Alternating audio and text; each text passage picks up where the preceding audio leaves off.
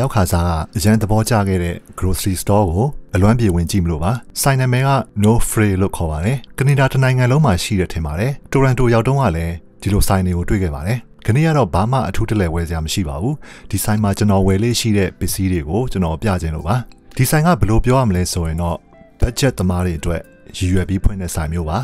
အများသောအားဖြင့်ပစ္စည်းတွေကတခြားဆိုင်တွေနဲ့ရှင်ရင်ဈေးသက်သာပါတယ်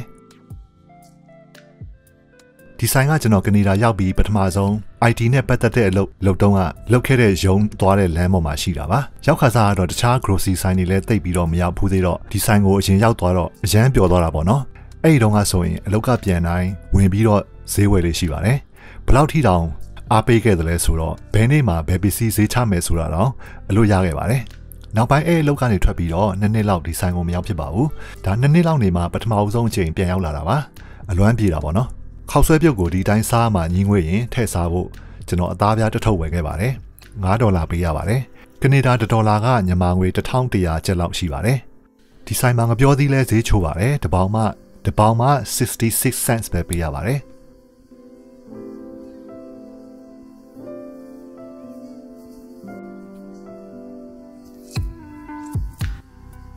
မနက်စာစားဖို့မာဖင်ဝယ်ခဲ့ပါတယ်။ကြိုက်လို့တော့မဟုတ်ပါဘူး။တခါတလေမနက်စာဘာစားမလဲမသိတဲ့ခါတွေမှာစားဖို့စားဖို့အတွက်ကြုံနှုံးဝယ်လိုက်တာပါ။6ခုပါတဲ့ဟာကို4.50 cents ပဲပေးရပါတယ်။သူကတစ်ခုစားလိုက်တာနဲ့ဤဆောင်သွားတာမို့လို့တရက်ကိုတစ်ခုစားမယ်ဆိုရင်6ရက်စာအတွက်မနက်စာအဖူးတုံသွားပါပြီ။ပါမုံတွေလည်းအမျိုးအစားပေါင်းစုံရှိပါတယ်။ကျွန်တော်ကတော့ပါမုံတွေသိပ်စားလေးမရှိပါဘူး။ဒါကတော့ sausage ပေါင်းစုံပါ။ ဒါကညီမပီကဝဲဥချောင်းနဲ့တူတဲ့ဝဲဥချောင်းပါဒီဆိုင်မှာအသားတွေလည်းဈေးပေါ်ပါတယ်ခဏကအသားဝယ်ဖို့အစီအစဉ်မရှိပါဘူး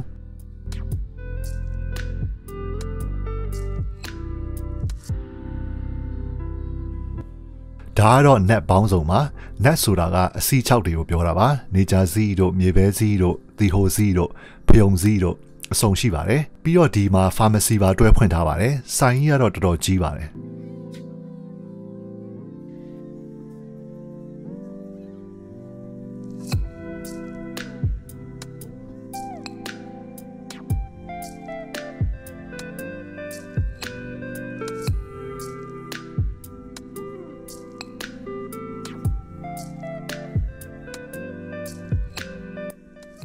ဒီဆိုင်မှာတပတ်ကိုတရက်ကျဲဥတွေကိုဈေးချပြီးရောင်းပါတယ်ဒါကနေ့ကဈေးချတဲ့နေ့ပေါ့နော်ကျဲဥ12လုံးပါတဲ့တကက်ကို1ဒေါ်လာ98 cents ပေးရပါတယ်ပုံမှန်ဆိုရင်တော့3ဒေါ်လာလောက်ပေးရပါတယ်ဒါပေမဲ့တယောက်ကို3ဒါဇင်ပဲဝယ်လို့ရပါတယ်ဒါကတော့ပဲကြော်ပါစားချင်စိတ်ပေါက်လို့ဝယ်လာခဲ့ပါတယ်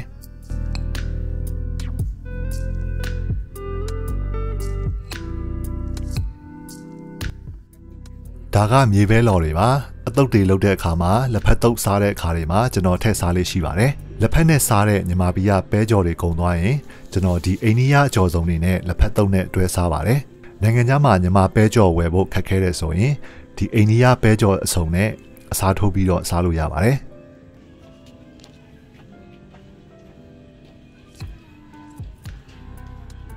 ဒီဝက်ခောက်ကြော်ဆိုရင်လည်းတော်တော်လေးစားလို့ကောင်းပါတယ်ညီမပီကဝက်ခောက်ကြော်အတိုင်းပါပဲ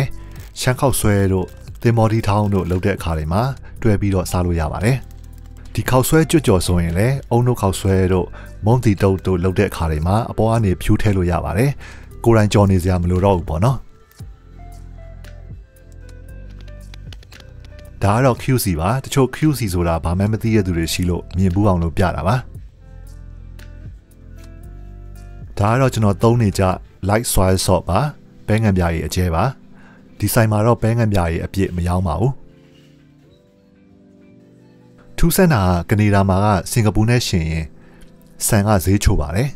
ဆန်တွေကအေးရှားလာပြီးတော့ကနေဒါမှာဘာလို့ဈေးချိုနေရလဲဆိုတော့ကျွန်တော်လည်းမပြောတတ်ပါဘူးဒီ 18kg ဆန်တအိတ်ကိုမှ24.88 cents ပဲပေးရပါတယ်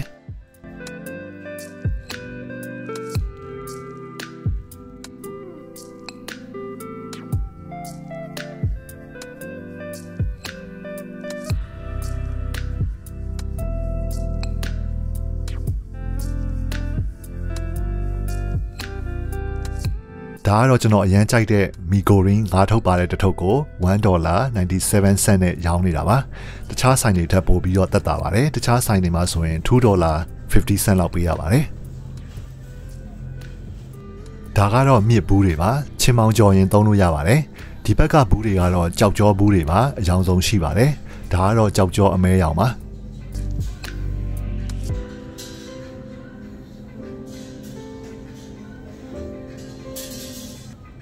ငုံဥပြုတ်ရမှာအခွန်ခွားမှာပြင်းတဲ့ကျွန်တော်လိုလူအတွက်အဆင်ပြေတဲ့ငုံဥ ready made ဘူးတွေပါဒါကတော့ညီမပီကမြေပဲယိုနှမ်းယိုပုံစံမျိုးလုပ်ထားတဲ့နှမ်းယိုတွေပါ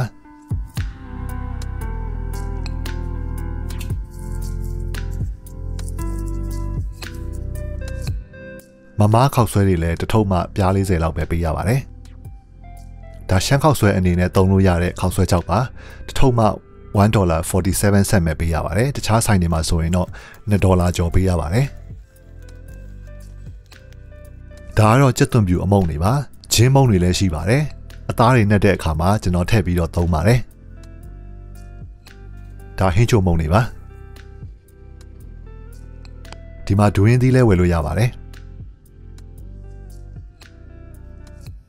ဒီမှာ yogurt 650 gram တပူးကို 1.97 cents နဲ့ရောင်းနေလို့ကျွန်တော်ဝယ်ခဲ့ပါတယ်။ဒါကတော့ waffle ပါရှစ်ခုပါတဲ့တပူးကို1ဒေါ်လာနဲ့ဆိုတော့ဝယ်ခဲ့ပါတယ်။ပါမုန်ကင်တဲ့ဆက်ထဲမှာထည့်ပြီးတော့ကင်လိုက်ပြီဆိုရင်ကျွတ်ကျွတ်လေးဖြစ်နေပြီးတော့စီရက်လောင်းပြီးတော့စားရင်တော်တော်လေးစားလို့ကောင်းပါတယ်။ကော်ဖီနဲ့တွဲစားမယ်ဆိုရင်လည်းလိုက်ဖက်ပါတယ်။ဒါကတော့ frozen spinach တွေပါ။ဒီဟာကိုသုံးပြီးတော့ကျွန်တော်ချင်မောင်ရက်ကြော်ပါတယ်။ အဲ့ဒီချင်မောင်ရဲ့ကြော်အတူလုံနီးကိုကျွန်တော်ဗီဒီယို link ထည့်ပေးထားပါမယ်ဒါတစ်ထုပ်မှ1ဒေါ်လာပဲပေးရပါတယ်သူကချစ်ချစ်လေးလုပ်ထားတော့ဖွာလိုက်ပြီဆိုရင်အများကြီးရပါတယ်ဒါကတော့ frozen pizza တွေပါကျွန်တော်က pizza ကိုအဲ့လောက်ကြီးမကြိုက်ပါဘူးဒီလို pizza အပြားကြီးတစ်ခုကိုမှ3.33 cents ပဲပေးရပါတယ်ဆိုင်တွေမှာဝယ်စားရင်တော့အနည်းဆုံး15ဒေါ်လာလောက်တော့ပေးရပါတယ်ဒါပေမဲ့ဆိုင်တွေရဟာတွေကတော့လက်လက်ဆက်ဆက်ဆိုတော့ပို့ပြီးတော့စားလို့ကောင်းတာပေါ့နော်ဒီဆိုင်ကိုရောက်ရင်ဘာမှဝယ်ဖို့အစီအစဉ်မရှိလဲ ဈေးချထားတာတွေတွေ့တော့တခုမဟုတ်တခုတော့ဝယ်ဖြစ်ပါတယ်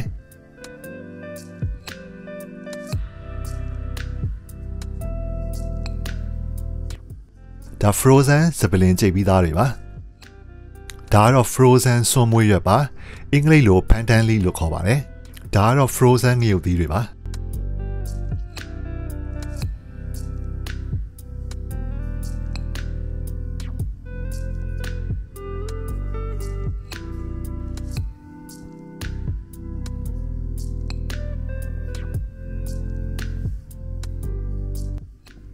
ဒီ prawn nectar ဆိုတဲ့ဖြော်ရည်ကိုတောက်ဖူးကြလားမသိဘူးကျွန်တော်ကတော့ကနေဒါရောက်မှသိတာပါသူကဝင်းချုပ်တဲ့သူတွေဝင်းမမှန်တဲ့သူတွေဖြော်ရည်အနေနဲ့တောက်တင်ပါတယ်ဝင်းမသွားတာ2ရက်လောက်နေရင်250 gram လောက်တောက်ပြီးလို့ရပါတယ်ဝင်းချုပ်တဲ့သူတွေလည်းတောက်လို့ရပါတယ်ကျွန်တော်ဆိုရင်တောက်ပြီးတော့တနားရီလောက်နေရင်ကိုအစွမ်းပြပါတယ်ဒီဖြော်ရည်ကိုကျွန်တော်ဘယ်လိုစားသိသလဲဆိုတာပြောရမယ်ဆိုရင်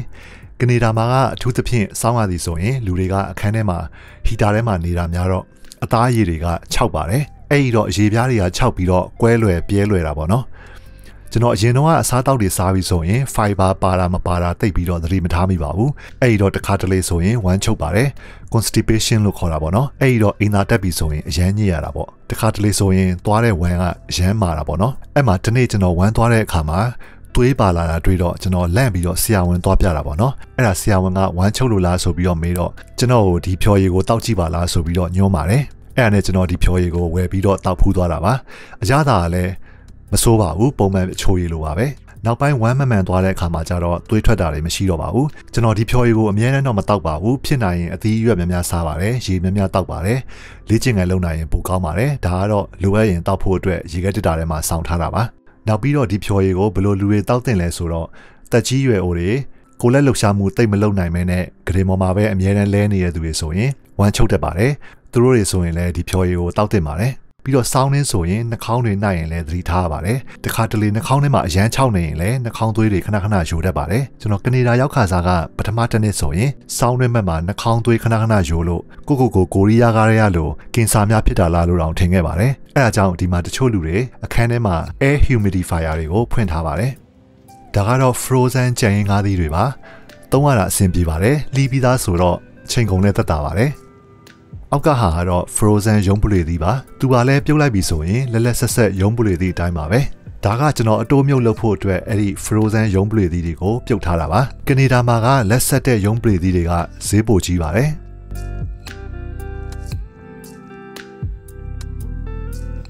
ဒါကတော့ frozen platter တွေပါစားလို့အရန်ကောင်းပါတယ်ငါးခုပါတဲ့တစ်ထုပ်ကိုမှ2ဒေါ်လာကျော်ကျော်ပဲပေးရပါတယ်ကျွန်တော်ကတော့ကြက်သားအာလူစီပြန်ချက်ပြီးတော့တွဲစားလေးရှိပါတယ် ဒါကတော့မလိုင်းခဲတွေပါစီပြန်ချက်စားလို့ရပါတယ်ကော်ပြန်ကျော်တို့စမူစာတို့လည်း frozen ဝယ်လို့ရပါတယ်ဒါကတော့ငပိရေကြိုလို့ရတဲ့ဖိလစ်ပိုင်ကလာတဲ့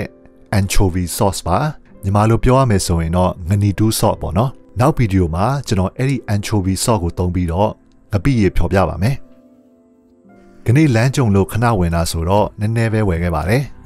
ဒီအပိုင်းကကျွန်တော်ကြောင်းတစ်ဖက်အလုပ်တစ်ဖက်နဲ့အရန်အလုပ်ရှုပ်နေလို့ဗီဒီယိုတွေသိပ်မတင်နိုင်ပါဘူးဒါပေမဲ့အတက်နိုင်ဆုံးစူးစမ်းပြီးတော့တင်ပေးပါမယ်ဗီဒီယိုကိုအဆုံးထိကြည့်ရှုပေးတဲ့အတွက်ကျေးဇူးတင်ပါတယ်မြန်မာပြည်မှာဖြစ်နေတဲ့အရေးတော်ပုံလည်းအမြန်ဆုံးအောင်မြင်ပါစေဘိုင်ဘိုင်